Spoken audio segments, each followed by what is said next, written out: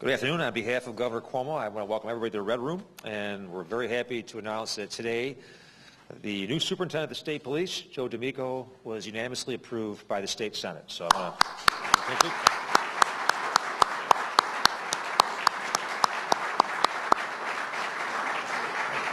Superintendent D'Amico has a long and distinguished career in law enforcement. He started with the NYPD just before his 21st birthday as a beat cop, served 27 years with New York City before retiring to lead the investigations for the Attorney General's office. Uh, his career, I won't go through all his career steps, uh, just a great career. Uh, at the commands that he has had, the real-time crime center he led before he left. Uh, he is somebody who is truly a cop's cop and somebody who no doubt will earn the respect of the great men and women of the New York State Police as he starts his tenure there. And one thing about Joe D'Amico during the transition process, the, the giants in law enforcement uh, that sent their views in about Joe D'Amico and the recommendations. It was tremendous to see the people that supported him and know him. He just has had a great, great career. And I just want to thank the State Senate. Uh, and I want to bring up uh, next we have uh, speaking today. Oh, actually, before I bring it up, I want to mention that uh, with Superintendent D'Amico today is his wife, Judy. I want to give Judy a round of applause.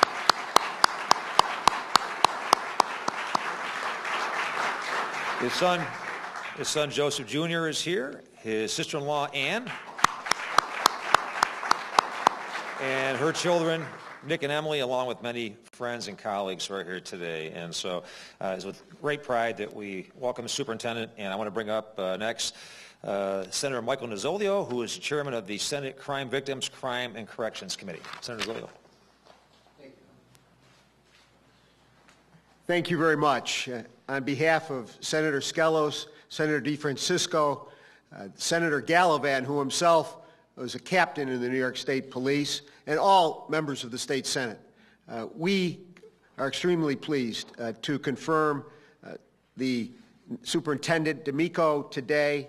Uh, he came before both the Crime and Corrections Committee and the Senate Finance Committee and was asked many questions, but this was one, that in the 12 years between 1995 and uh, 2007, there were one superintendent of the New York State Police. In the last four years, with Superintendent D'Amico, there will have been four superintendents of the state police. His response was that uh, his efforts uh, will be to bring stability uh, to that great law enforcement body, and we look forward to working with him.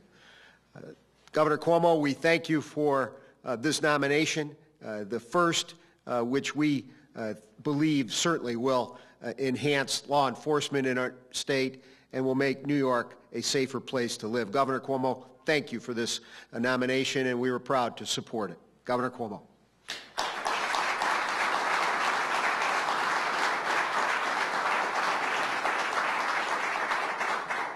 Thank you very much, and good afternoon.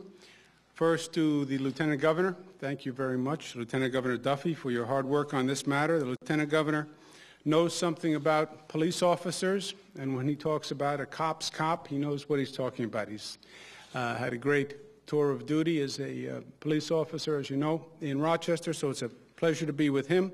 Senator Skelos, thank you very much. Pleasure to be with you. Mike Nozzolio, Senator, thank you very much. Thank you for the quick action on this one. Uh, Senator DeFrancisco, also thank you very much. Senator Gallivan, thank you very much for being with us. Um, I'd also like to thank Judy, who is with us, who was acknowledged by the Lieutenant Governor, who was the partner and spouse of Joe D'Amico. Judy and I had several conversations about this position. It was one set of conversations with Joe. It was a much different set of conversations with Judy. Judy needed a little persuading about the full context of this position and how advantageous it would be to join the state. And uh, I'm glad those conversations worked out very well. Let's give her a round of applause.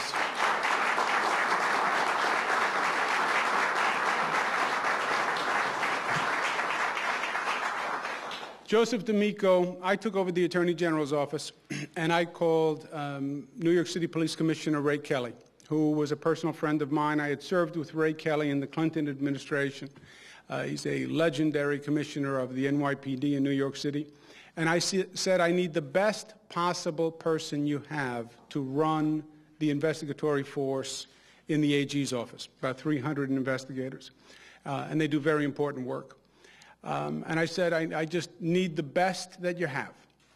Uh, and he called me back and he said, look, um, we did have a personal relationship. He said, the Attorney General's office is important. I'm going to give you a real superstar uh, to talk to. And I talked to Joe, and uh, it was clear that he was a superstar. He did an exemplary job in the Attorney General's office on every level, leadership, management, uh, product, performance, doing more with less.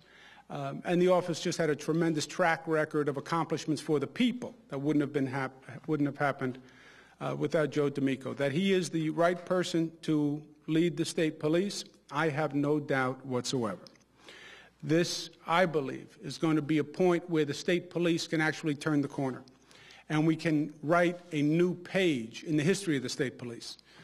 The first time I was in this building, uh, when I was a much younger fellow, uh, the state police were one of the premier law enforcement agencies in the United States. Their integrity was beyond reproach, period. You wouldn't even think about it. Uh, recently, there have been a number of, of disturbing uh, discoveries about the state police. Not that go to the essence of the state police, not that go to the people who day in and day out do the work in the state of, with the state police, but there have been tangential activities, political activities that have tarnished the reputation of the state police. I think that's, that's a fair statement. That is an unfair characterization. It's untrue to the essence of the state police. And I believe with a new superintendent, you're going to see a new page written, uh, a better page, a truer page of what the state police are all about. Uh, so I am so excited. I'm excited for Joe. I'm excited for you, Judy. I'm most excited for the people of this state. State police are a very important institution. Uh, the work they do all across the state, the frontline public safety work that they do. Um, and it's going to get better after today. Ladies and gentlemen, let me please introduce Joseph D'Amico, and I'd ask him and his family to come up and join me for a swearing in.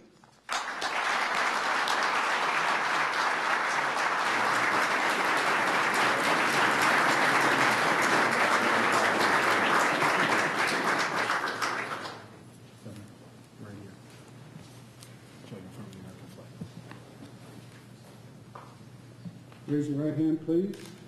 Repeat after me. I state your name. I, Joseph D'Amico, Do solemnly swear do solemnly swear that I will support the Constitution of the United States that I will support the Constitution of the United States and the Constitution of the State of New York, and the Constitution of the State of New York, and that I will faithfully discharge the duties of the office and I will faithfully discharge the duties of the office of Superintendent of the New York State Police of Superintendent of the New York State Police to the best of my ability, to the best of my ability. so help me God. So help me God. Congratulations.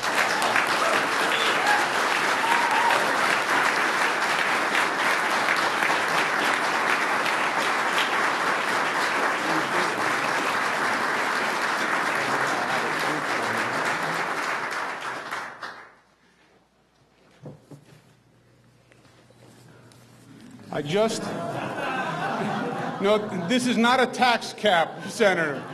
I just wanted to see what Joe was going to look like. I've been thinking about this for weeks, I want you to know. Give it a try, Joe.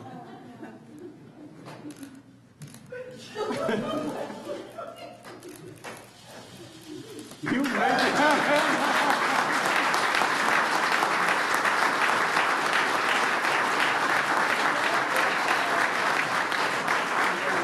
Yeah.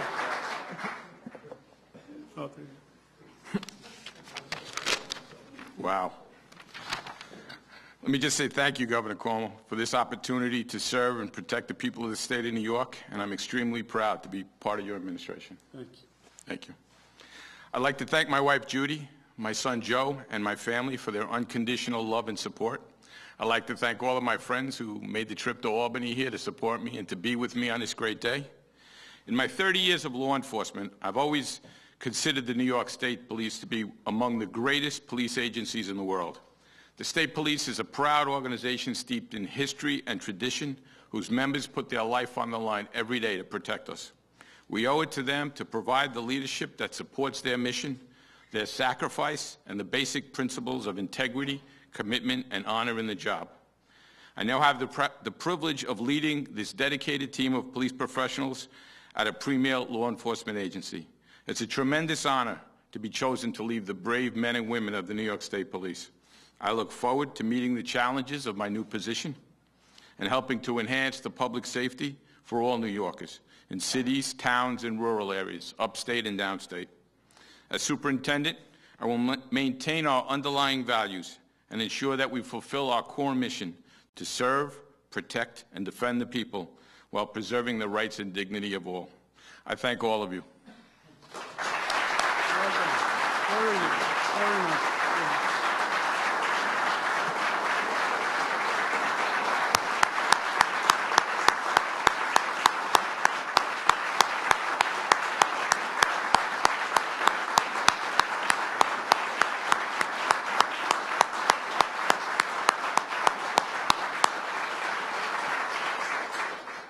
Very nice. Questions for myself or the new superintendent? Governor, uh, Kyle Hughes here. My question is, uh, when you talk about the upper ranks of the state police, the association that is in a lot of people's minds is that uh, there's a lot of political skullduggery that went on during the Spitzer administration. I was wondering what the new superintendent thought of that and what steps he was going to take to prevent the state police from being used politically by the governor I think it's important to, to recognize that uh, what occurred in the state police was, um, was the actions of individuals. Um, it wasn't the organization. The, the institution that is, is the state police is sound. The overwhelming majority of the people in the state police are hardworking, honest, loyal um, employees. So I, I think it's important to recognize that. Um, I, I think what I'm going to say to the, to the membership of the state police is that our, our role is public safety. It's not it's not politics. I'm an apolitical person. The organization needs to be apolitical and independent, and, and I'm going to strive to, uh, to send that message out to them every day. If I could just reinforce, excuse me, Fred, one second. If I could just uh, reinforce the, the point that the superintendent made. Um, to say it is the state police, Kyle, as you know, it's not about the state police. The, the men and women who work in the state police do phenomenal work every day. Uh, were there a handful of people who got involved in activities that were political, I believe, and outside uh, their duties? Yes. Were the state police put in a bad position by the requests from the governor's office? Yes.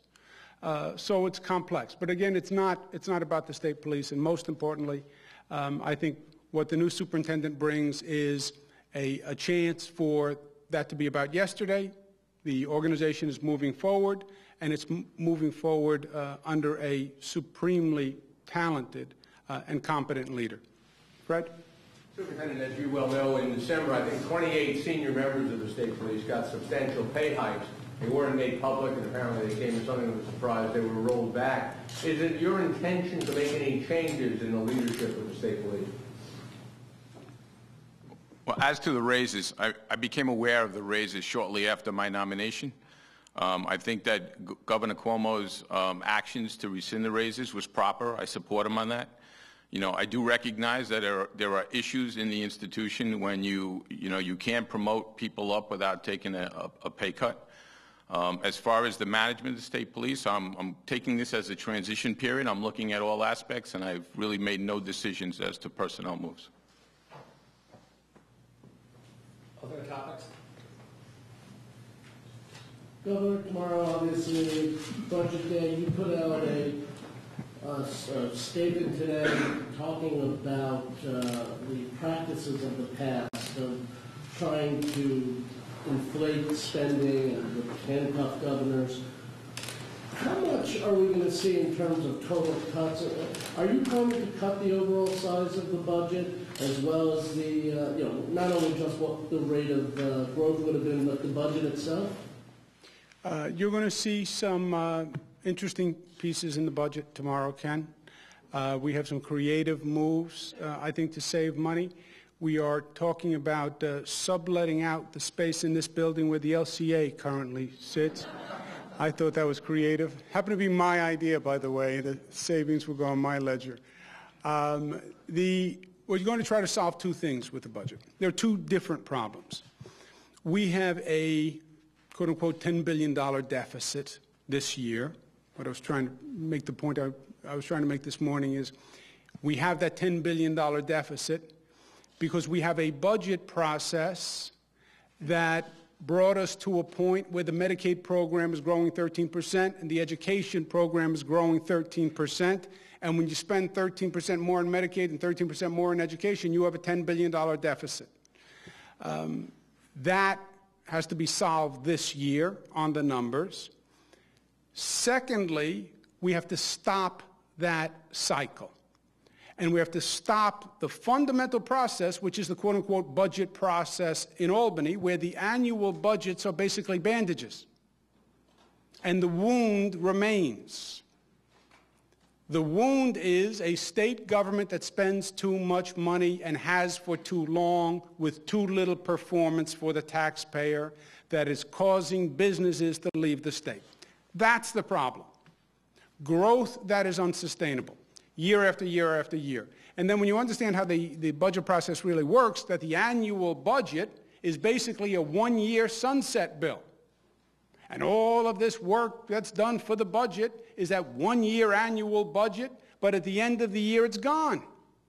And then the next year you start, and you have the same underlying problem, which was the quote-unquote Medicaid program and all those individual programs underneath with their prescriptions and their rates and their formulas they kept running, and the deficit is going up and up and up. So this year, stop, close the gap, balance the budget, and then stop the madness, which is this process that is running up deficits that are unaffordable and will bankrupt the state. Just as a follow-up, critics have said today that uh, a lot of this trend setting, uh, trend factors, started with your father's administration, and they question how do you get rid of it when, for instance, education, a lot of it is CFE, with healthcare, a lot of it was the expansion of Child and Family Health Plus. What happens to those programs? Here's the fundamental difference, Ken.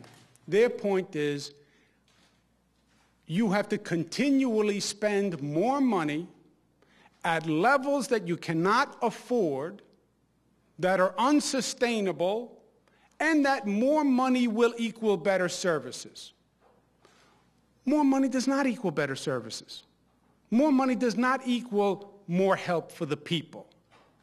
More money is not equaling better education for the children. We're number one in education spending, we're number 34 in results.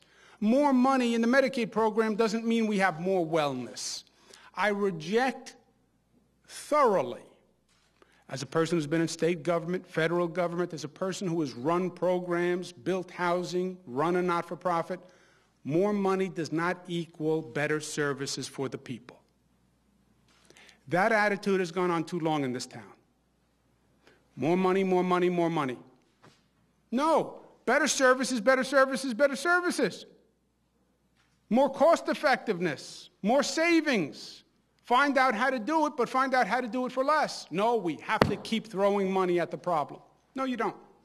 And by the way, it hasn't worked throwing the money at the problem, and you can't afford to continue throwing the money at the problem because it's unsustainable.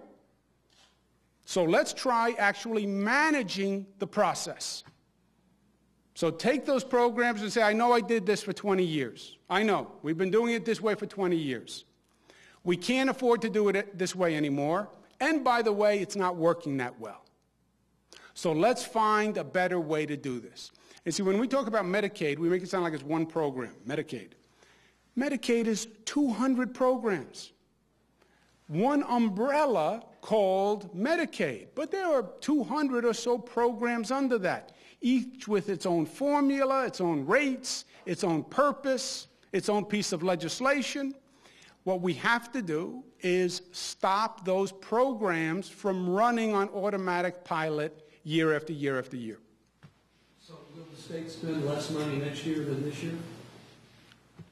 Are you asking me to disclose vital information about the budget?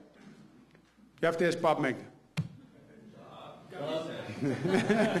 and Bob's not talking.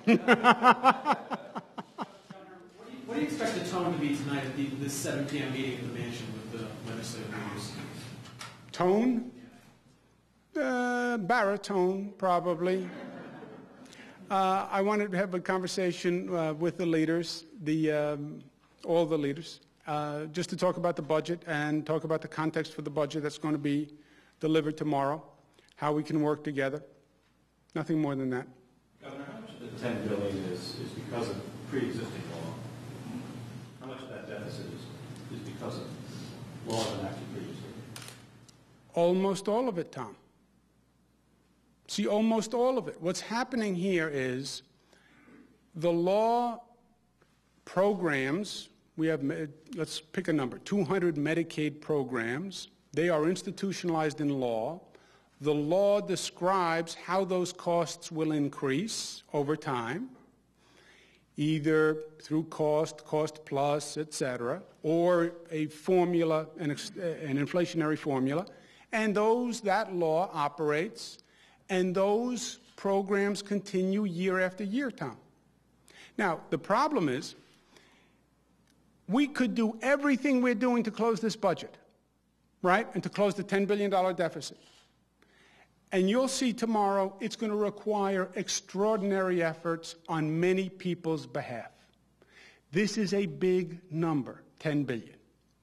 It's a large deficit coming after they had several years of closing deficits where they took all the low-hanging fruit off the trees. It is going to be incredibly hard to close this $10 billion deficit.